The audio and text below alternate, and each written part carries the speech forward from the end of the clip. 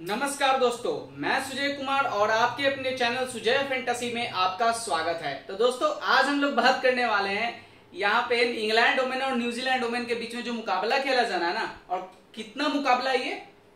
Third T twenty होने वाला है भैया, और मैच का भैया होने वाला है? ग्यारह जुलाई को, और ग्यारह बजे रात में ये मुकाबला होने वाला है। मतलब कि आज होने वाला है ये मुकाबला रात को ग्यारह बजे। अब किस तरह से किसको ट्राई करना है किसको ट्राई नहीं करना है सारा कुछ इस वीडियो में हम लोग डिस्कस करेंगे। पूरे वीडियो को ध्यान से देखना एक एक प्लेयर के बारे में डिटेल से हम लोग बात करने वाले हैं ठीक है? और बात रही कि इतने दिन से वीडियो वगैरह मैं कंटि, मतलब कंटिन्यू क्यों नहीं रह पा रहा हूँ भाई? बिकॉज़ भाई अभी एग्ज़ाम वगैरह मेरा चल रहा है इसी वजह से थोड़ा सा एग्ज़ाम की तैयारी में और एग्ज़ाम के थोड़ा सा व्यस्त में चल रहा हूँ ठीक है? थोड़ा सा इंट्रोडक्शन देना ज़रूरी था ताकि आप लोग को पता चले कि भैया मैं क्या कर रहा हूँ अभी। तो किस ग्राउंड पे होने वाला है? संत लॉरेंस ग्राउंड पे ये मुकाबला होने वाला है इंग्लैंड में ये मुकाबला होने वाला है। यहाँ पर पेसर को थोड़ा ज़्यादा मदद मिलता है। वेदर रिपोर्ट एकदम क्लियर है, कोई बारिश की संभावना नहीं है। अभी जो यहाँ पर लास्ट के कुछ मैचेस खेले गए थे ना 2012 में खेला गया था भाई लास्ट वाला मुकाबला इस ग्राउंड पे। तो उसमें क्या हुआ था, ये थोड़ा देख लेते लोग। इंग्लैंड वुमेन और इंडिया वुमेन के बीच में खेला गया था। इंग्लैंड वुमेन की टीम आराम से जीत गई थी। और पेसर को यहाँ पर फ़र्स्ट इनिंग्स में एक विकेट मिला था सेकंड इनिंग्स में चार विकेट मिला था। स्पिनर को फ़र्स्ट इनिंग्स में तीन विकेट और सेकंड इनिंग्स में चार विकेट। तो कुल मिलाकर के एक चीज़ आप बात समझ लेना कि कुल मिलाकर के यहाँ पर पाँच विकेट टोटल पेसर को और सात विकेट यहाँ पर स्पिनर को मिल रखा है भाई। तो यहाँ पे आप देख चुके हो, समझ चुके हो, और फ़र्स्ट इनिंग्स में चार विकेट गिरा है और सेकंड इनिंग्स में आठ विकेट गिरा है। तो एक चीज़ ध्यान लेकर के चल लेना कि सेकंड इनिंग्स में थोड़ा विकेट ज़्यादा गिरता है भाई। तो ज़्यादा से ज़्यादा जो जो भी टीम पहले सेकंड बॉलिंग करेगी ना, उसके टीम के बॉलर रखना। एक ही मैचेस खेला गया तो डिस्कस करने से कोई फ़ायदा नहीं है। तो भैया, अभी तक चैनल को सब्सक्राइब नहीं किया तो सब्सक्राइब कर लीजिए। और मेरे हर वीडियो में गिव अवे रहता है तो उसमें पार्टिसिपेशन के लिए आपको क्या करना है वो बताता हूँ। सबसे पहले चैनल को सब्सक्राइब वीडियो को लाइक और बताना है, दो क्वेश्चन पूछूँगा भैया। सबसे ज़्यादा रन इस मैच में कौन बनाने वाला है? उसका नाम लिखे। सबसे ज़्यादा विकेट कौन निकालेगा इस मैच में? उनका नाम लिखे। और हाँ कमेंट में हैशटैग आपको लिखना है E N dash W versus N Z dash W ठीक है? ये आपको अगर आप, अगर आपका जवाब सही होगा तो आपको आराम से टू हंड्रेड रुपीज़ मिल जाएँगे। दो क्वेश्चन दो सौ रुपया। बिकॉज़ वीडियो देख के आप दो सौ कमा सकते हो बिना खेले, ठीक है? अगर मैं बात करूँ तो ये दोनों के बीच में अभी तक मुकाबला खेला जा चुका है बीस, और यहाँ पर ग्यारह मुकाबला इंग्लैंड वुमेन की टीम जीती है, और पाँच मुकाबला न्यूजीलैंड वुमेन की टीम जीती है, ठीक है? चलो, आगे बात करते हैं दोस्तों तो यहाँ पे 60 परसेंट जीतने के चांसेस इंग्लैंड के हैं बिकॉज़ अभी दोनों के दोनों मुकाबला टीम इंग्लैंड वुमेन की टीम जीत करके आ रही है। टेलीग्राम से नहीं ज्वाइन हुए हो तो इस वीडियो के ठीक नीचे डिस्क्रिप्शन में लिंक डाला हुआ है। जल्दी जाकर के ज्वाइन कर लीजिए बिकॉज़ फाइनल टीम से लेकर के टॉस अपडेट तक सारा कुछ आपको हमारे टेलीग्राम पे ही मिलने वाला है। अब इंग्लैंड के बारे में डिस्कस कर लेते भैया। यहाँ देखोगे ना कंटिन्यूसली ये टीम है ना, जीत के यहाँ आ रही है। देखो अभी कंटिन्यूअसली ये जीती है, यहाँ पर एक मुकाबला हारी थी, अभी कंटिन्यूसली ये जीत करके आ रही है, लगातार दोनों मुकाबला भी जीती है न्यूजीलैंड को ये हराई है, ठीक है? अब इनका थोड़ा प्लेइंग इलेवन देख लेते हैं। प्लेइंग इलेवन देखोगे तो मेया वॉच और डैनी वाइट के साथ ओपनिंग करेंगी, फिर एलिस कैप्सी आएँगे हिदर नाइट जो कि टीम की कैप्टन है फ्रेया कैंप आएँगे एमी जॉन्स आएँगे चार्ली डीन आएँगे डैनियल गिब्सन आएँगे लॉरेन बेल सारा ग्लेन और सोफिया स्लेस्टोन अब बात करते हैं कि यहाँ पे कंप्लीट चार चार ओवर कौन डालेंगे। जिसमें मैंने स्टार लगा रखा है ना, वो बंदी आपको चार ओवर डालेंगे कंप्लीट सोफिया स्लेस्टोन डालेंगी, सारा ग्लेन डालेंगी एलबेल डालेंगी और चार्ली डीन आएँगी और फ्रेया कैंप ये सारी जो बंदी है ना, चार चार ओवर आपको डालते हुए दिखने वाली है। अब एक एक प्लेयर के बारे में डिटेल से बात करेंगे। मेरा स्टार्ट दिखाने का तरीका क्या है, आपको मालूम ही होगा, नहीं मालूम है, मैं फिर से बता देता हूँ। यहाँ पर बंदी का फ़ोटो बंदी का नाम प्लस इनके बैटिंग स्टाइल कैसा है सामने वाली टीम के खिलाफ जैसे इंग्लैंड वुमेन की टीम है, सामने वाली टीम न्यूजीलैंड के खिलाफ इनका क्या रिकॉर्ड रहा है? टी ट्वेंटी में वो मैंने लिख दिया है। पूरे टी ट्वेंटी इंटरनेशनल में इनका क्या रिकॉर्ड रहा है? वो मैंने लिख दिया है। इस ग्राउंड पे क्या रिकॉर्ड है? वो मैंने लिख दिया है। रिसेंट परफॉर्मेंस क्या रहा है? वो मैंने लिख दिया है। और ये सभी जो टूर्नामेंट में भी जो मतलब ये जो भी टी ट्वेंटी के इंटरनेशनल के जितने भी मुकाबले खेल के आ रही है ना, उसमें रिसेंट वाला क्या रहा है, वो भी मैंने यहाँ पर लिख दिया है। ठीक है? अब मैं बार बार सारे प्लेयर का ऐसे में बताऊँगा नहीं। डायरेक्टली मैं बताऊँगा किसको ट्राई करना है, किसको ट्राई नहीं करना है, ठीक है? तो यहाँ पे मेयर वॉचर है, तेईस और बत्तीस, दोनों मैच में अच्छा खासा स्कोर भी किए ध्यान रखना, अगर कोई ओमेंस के मैचेज में अगर तीस स्कोर बना रही है ना, बीस पच्चीस बना रही है तो वो अच्छे कैटेगरी में आ जाती है। छत्तीस का एवरेज इनका रहता है न्यूजीलैंड के खिलाफ। तो अच्छा खासा स्कोर कर रही है। डैनी वाइट बहुत तगड़ी वाली, पहले मैच में छिहत्तर बनाई है, दूसरे मुकाबले में ज़ीरो पे आउट हो गई थी। लेकिन बंदी बहुत तगड़ी वाली है। परफॉर्मेंस में नो डाउट आपकी टीम में होनी चाहिए। और परफॉर्मेंस भी अच्छा खासा करके देती है हालाँकि अठारह का एवरेज है इनका सामने वाली टीम के खिलाफ, लेकिन ठीक ठाक खेल जाती है। ठीक है? उसके बाद आती है एलिस कैप्सी आप इनका देख लो, अट्ठाईस रन, देखो, दो मुकाबला खेली है। फ़र्स्ट मुकाबले में इकतीस रन, दो विकेट बनाई है। और यहाँ पर दूसरे मुकाबले में बॉलिंग नहीं की है, बस बैटिंग की है और अट्ठाईस रन बनाई है। अच्छा खासा इनका परफॉर्मेंस रहता है इंपॉर्टेंट बनेंगे, लेके जा सकते हो। नाइट एसक्यू ब्रंट आप इनका देखो फ़र्स्ट मैच में सैतालीस रन बनाए विकेट नहीं मिला। दूसरे मैच में ग्यारह प्लस एक विकेट तो बंदी बैटिंग और बॉलिंग दोनों करके दे रही है। परफॉर्मेंस भी इनका लाजवाब है सताइस का एवरेज है। अपनी टीम में आप लेके जाइए, ठीक है? हिदर नाइट आती है यहाँ पे? 42 का एवरेज है यार इनका, समझ रहे हो? न्यूजीलैंड के खिलाफ सबसे तगड़ी वाली खेलती है, लेकिन लास्ट के दोनों मैच में बंदी फ्लॉप ही रही है। परफॉर्मेंस कुछ खास नहीं कर पा रही है। लेकिन बंदी तगड़ी वाली है कभी भी परफॉर्मेंस करके दे सकती हैं न्यूजीलैंड वुमेन के खिलाफ तो ये थोड़ा ध्यान रखना भाई, ठीक है? इनके ऊपर बंदी बहुत तगड़ी वाली है। एमेजॉन थोड़ा बैटिंग ऑर्डर नीचे इस वजह से मैं इनको थोड़ा ज़्यादा अपनी टीम में लेके नहीं जाऊँगा। सामने वाली टीम का अगर विकेट कीपर ऊपर बैटिंग करेंगे ना तो फिर उनको टीम में लेकर के जाऊँगा। उसके बाद ये डैनियल गिप्सन आप इनका देख लोगे ना?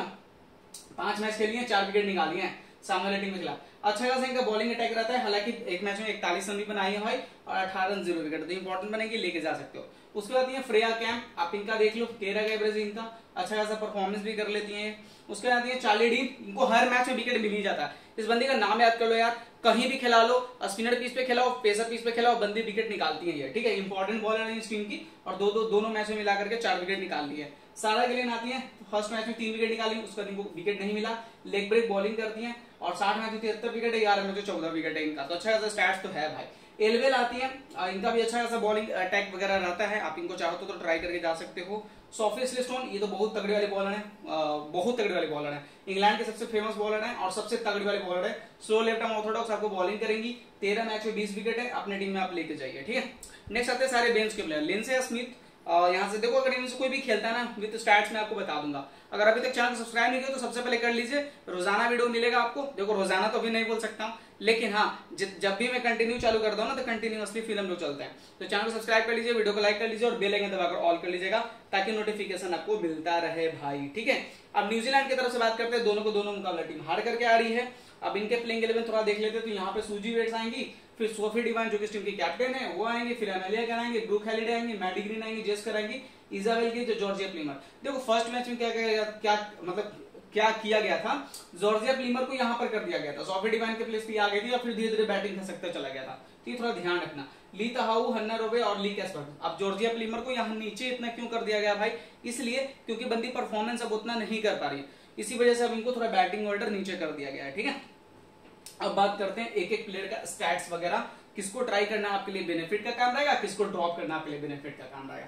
तो यहाँ पे देखोगे ना तो सूजी वेट्स आती है, इक्कीस का एवरेज इनका सामने वाली टीम के खिलाफ बहुत तगड़े वाली स्टैट्स है और तैतालीस रन बनाई है लास्ट के दोनों मुकाबले में, एक मैच में तैतालीस और एक मैच में चार। ठीक ठाक खेल जाती है इंपॉर्टेंट बनेगी। नेक्स्ट आती है सॉफी डिवाइन आप इनका देख लो भैया बंदी का नाम बहुत बड़ा है, लेकिन यहाँ पर काम बहुत छोटे वाले कर रहे हैं मतलब परफॉर्मेंस नहीं कर पा रही है हालाँकि दोनों मैच फ्लॉप ही रही है बॉलिंग तो करती है, एक आध ओवर डालती है, उससे ज़्यादा नहीं डालेंगी। एमएलए कर आती हैं और सबसे इंपॉर्टेंट बॉलर है, आप समझ ही रहे हो। देखिए पता चल रहा होगा आपको, चौदह मैच में पंद्रह विकेट है, बहुत तगड़ी वाली बंदी है अठारह रन ज़ीरो विकेट है और फिर दो विकेट है। तो मतलब फ़र्स्ट मैच में तो कुछ खास नहीं कर पाई, लेकिन सेकंड मैच में अच्छा खासा परफॉर्मेंस किया ट्राई करना भाई।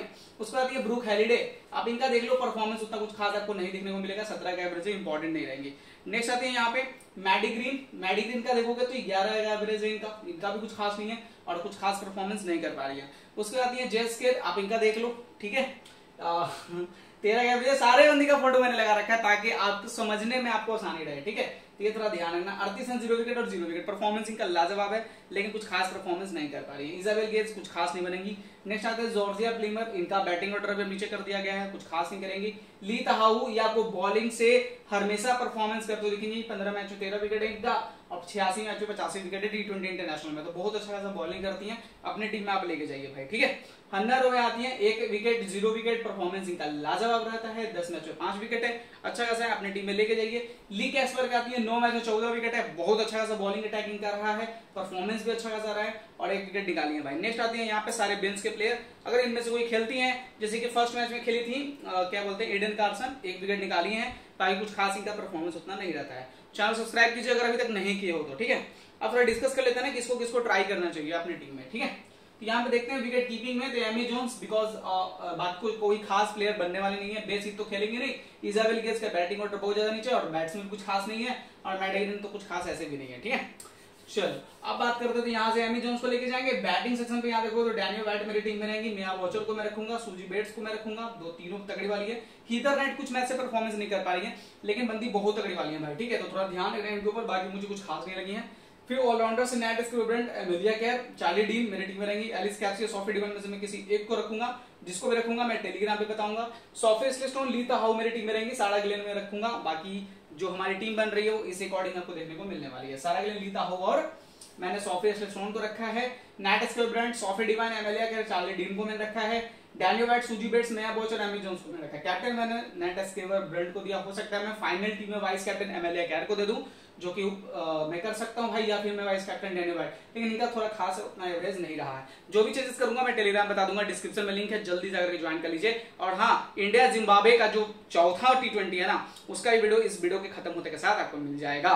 तो जल्दी जाकर के आप हमारे चैनल को सब्सक्राइब कर लीजिए, ताकि मैं जैसे ही डालू, आपको नोटिफिकेशन फटाक से मिल जाए, ठीक है? तो चलो भैया, मिलते हैं नेक्स्ट वीडियो में, नया लटरी को वीडियो के साथ। तब तक के लिए धन्यवाद। अपना ख्याल है दोस्तों। जय हिंद।